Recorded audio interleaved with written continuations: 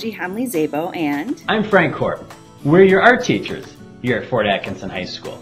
Art Foundations is our prerequisite course for everything here at Fort Atkinson High School. Art Foundations builds upon and introduces you to the elements and principles of art that you've probably already learned.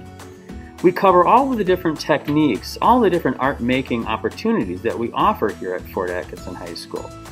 From drawing and painting to sculpture, ceramic work, metals work, it's all here.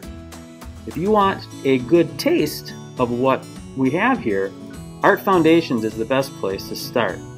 It also helps you understand the best way to get yourself into an art making mindset.